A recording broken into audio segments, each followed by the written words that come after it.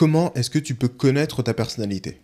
Tous les psychologues scientifiques qui travaillent sur le sujet le disent, il n'y a pas de méthode facile, rapide pour cela. Tu vas devoir faire le travail par toi-même, les tests ne fonctionnent pas, il va falloir te poser les bonnes questions et surtout aller chercher les bonnes réponses là où elles sont, qu'elles te plaisent ou non. Si tu veux connaître ta personnalité, c'est ta responsabilité à 100% et tu vas devoir utiliser le plus possible de méthodes scientifiques et être brutalement honnête envers toi-même. La première manière de faire, c'est celle que tout le monde fait. C'est la manière super subjective, totalement pseudo-scientifique.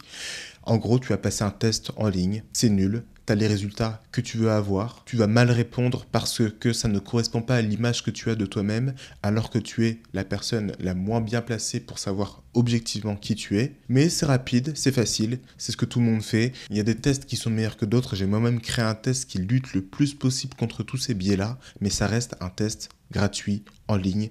Passe-le si tu veux, ça sera moins pire que les autres tests, mais ça restera en surface. Tu peux aussi demander de l'avis d'un expert, c'est déjà mieux parce que tu commences à avoir plusieurs points de vue, tu commences à sortir déjà de ce que toi tu penses être par rapport à toi-même. Moi j'ai l'impression que X alors Peu importe si ça correspond à la réalité, peu importe si tous les gens qui me côtoient disent exactement le contraire, moi je me sens bien en me voyant comme ça, je résonne avec cette personnalité, alors c'est moi. Quant à la vie de quelqu'un d'autre, tu sors déjà de ce genre de biais-là, mais malgré tout tu peux être d'accord par chance avec la personne qui va te typer, avec euh, ta maman, avec ton meilleur pote, ça aura plus de chances d'être pertinent, mais pour l'énorme majorité des gens, ça ne suffit pas, ça ne fonctionne pas.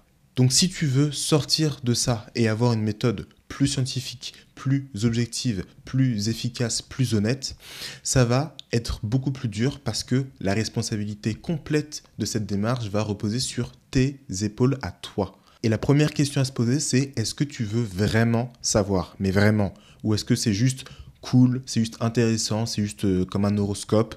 Tu passes le test, pendant à la limite euh, deux ou trois jours après, tu t'intéresses un peu au truc et ensuite tu l'oublies comme 90% des gens. Parce que si tu veux vraiment savoir, pour évoluer, pour grandir, ça va être horrible. Tu vas devoir faire face à toi-même, à tous tes défauts, avec honnêteté. Ça va faire mal, ça va blesser ton ego, ça demande beaucoup de travail. Mais pas de chance, c'est la seule manière qui marche réellement. Donc, si tu veux vraiment faire ça, la première chose que tu vas devoir faire, c'est de savoir de quoi tu parles et de définir tes termes. Tu dois connaître les besoins humains, tu dois connaître les fonctions et tu dois connaître les états dominants et les états inférieurs. C'est les bases, c'est l'essentiel et c'est bien de se concentrer sur ça. Les besoins humains, les fonctions, les états dominants et inférieurs. Oui, il y a d'autres éléments, oui, on peut rentrer plus dans les détails des modes, des sexualités, etc. Ça viendra après. Maîtriser ces 20%-là apportera déjà 80% des résultats. De la même manière, c'est ce que j'ai fait dans mon test. On ne parle pas des modes, on ne parle pas de tout ça. Je donne seulement les besoins humains, les fonctions, l'ordre dans lequel ils sont. Et la plupart des gens, déjà pour faire ça, commencent avec les définitions du MBTI en tête. Ils pensent que F veut dire ça, ils pensent que N, ça veut dire ça, ils pensent que c'est ça d'être un INTJ ou un INFP. La première étape pour apprendre, ça va justement être de désapprendre tout ce que l'on croit savoir sur les personnalités, sur les définitions des fonctions, etc. Plus tu en connais sur le MBTI, plus ça va être difficile. Tu dois apprendre chaque dichotomie, tu dois les comprendre, mais pour toi-même, dans la réalité. Pas juste avoir compris une vidéo sur le sujet qui en parle, mais le voir dans la vraie vie chez les gens autour de toi. Ah, ok, je vois quand je fais X et Y ma propre peur du chaos. Je vois mes fonctions inférieures et les dynamiques que ça va entraîner chez moi. Je le vois chez les autres. Quand ils ont des, entre guillemets, problèmes de EJ, je comprends pour moi-même ce que ça veut dire. Et ça, ça prend littéralement des mois. Je me souviens quand je créais la formation euh, MBTE débutant ou personnalité efficace débutant ou peu importe son nom, j'avais fait en sorte de tout expliquer, chaque élément des personnalités, etc. Mais je savais très bien, si je n'insistais pas sur le fait que chaque élément, il y a comprendre et il y a vraiment les avoir intégrés, alors ça ne donnerait aucun résultat. C'est pour ça que c'est divisé par jour, et en réalité, par jour, c'est ridicule. Un jour ne suffira pas du tout pour comprendre tout ça, même si j'insiste, j'explique bien qu'il ne faut pas essayer d'aller plus vite que ça, que faire un module par jour, c'est euh, déjà beaucoup, etc. Si je dis que c'est un mois par élément, les gens ne le feront juste pas. Donc là au moins c'est réalisable et ça force à ralentir un peu. Mais en réalité ça prend beaucoup plus de temps que ça pour réellement les maîtriser, pas juste les comprendre euh, intellectuellement. C'est comme quand tu vas à l'université, tu vas pas voir le prof à la fin du cours pour lui dire que tu veux être médecin tout de suite. Expliquez-moi tout de suite, maintenant, je veux tout comprendre maintenant, tout de suite. Est-ce que tu as fait tes devoirs? Est-ce que tu comprends les définitions? Est-ce que tu comprends les éléments dont on parle? Non, mais je vais être médecin tout de suite. Ok, si tu es pressé, va faire un test gratuit en ligne et débrouille-toi avec ça. Et la deuxième étape, elle est encore pire. Et c'est à celle-là que tout le monde s'enfuit, en courant, voir leur maman. Tu as besoin des observations des personnes qui t'entourent. Et là, plus personne ne veut s'intéresser aux personnalités. Dès que ça leur demande de sortir de leur point de vue, dès qu'ils ne peuvent plus être jugés partis et se voir comme eux veulent se voir, alors ça ne les intéresse plus. Pourtant, Carl Jung dit non, ça ne fonctionne pas comme ça. Tu ne peux pas te voir toi-même. Tu dois trianguler. Tu dois avoir des points de vue extérieurs pour réellement savoir qui tu es. Tu ne peux pas voir ton dos, tu peux pas voir ton front, tu peux pas voir euh, que tu as de la salade euh, entre les dents. Donc, tu dois aller voir ta famille, tes amis, les gens qui te côtoient le plus, les gens qui t'ont vu grandir, les personnes avec qui tu es intime. Et tu dois leur demander, c'est quoi la pire chose sur moi? Qu'est-ce que vous dites quand je ne suis pas là?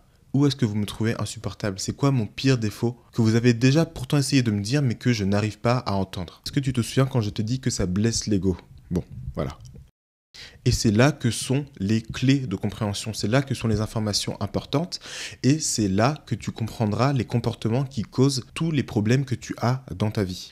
Et pour ça, tu peux pas aller voir juste une personne, tu peux pas aller voir juste ton ami ou juste ta maman parce que ça sera biaisé. Tu vas leur demander euh, est-ce que je suis un DI euh, égoïste qui pense qu'à lui?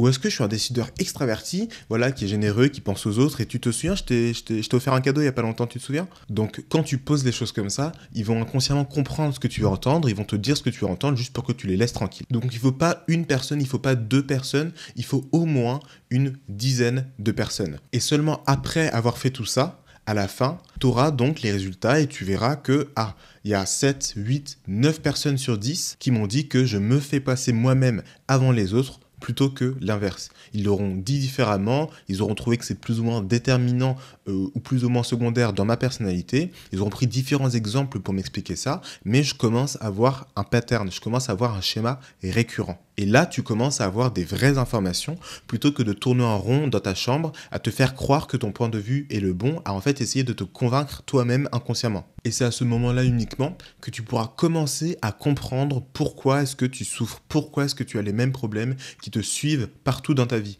pourquoi est-ce que tu te sens bloqué, pourquoi est-ce que tu es déprimé, pourquoi ton anxiété, pourquoi tes peurs reviennent sans cesse, etc tu pourras commencer en fait à prédire tes schémas comportementaux. Et c'est ça qu'on cherche à pouvoir faire. C'est comme ça que tu sauras que tu as compris ta personnalité. Quand tu sauras prédire avant que ça arrive les problèmes qui vont arriver.